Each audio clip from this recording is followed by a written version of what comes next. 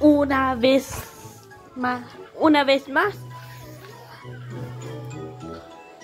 Mansión fuerte para amigos imaginarios.